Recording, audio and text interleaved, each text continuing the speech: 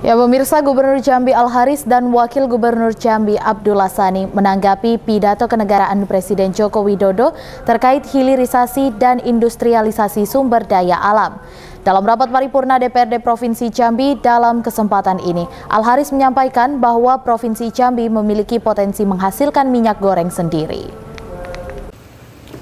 Selasa 16 Agustus 2022, Gubernur Jambi Al-Haris dan Wakil Gubernur Abdullah Sani menghadiri rapat paripurna DPRD Provinsi Jambi dalam agenda mendengarkan pidato kenegaraan Presiden Republik Indonesia yang diselenggarakan di ruang paripurna DPRD Provinsi Jambi.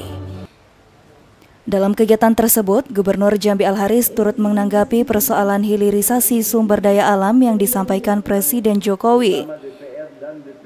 Gubernur Jambi Al-Haris menyampaikan bahwa mengenai sumber potensi daerah mana yang mungkin bisa dijadikan hilirisasi.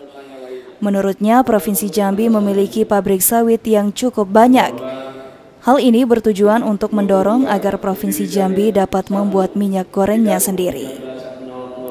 Al-Haris juga menjelaskan tujuannya agar ketika terjadi krisis pangan dan kelangkaan minyak goreng, pemerintah Provinsi Jambi sudah siap untuk mengantisipasi hal tersebut.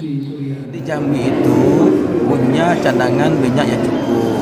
Ya dari nilai minyak minyak apa namanya minyak kemasannya juga termasuk minyak itu? Minyak curahnya. Itu kan cukup sudah. Artinya minyak curah dan minyak kemasan yang ada hari ini ini cukup untuk kebutuhan Jambi tinggal lagi jangan sampai ada mafia-mafia minyak yang bermain gitu kan. Kalau ada mafia yang bermain dia beli banyak dia dia timbul ini kan repot kita. Sandi Deswi Tarika Jack TV melaporkan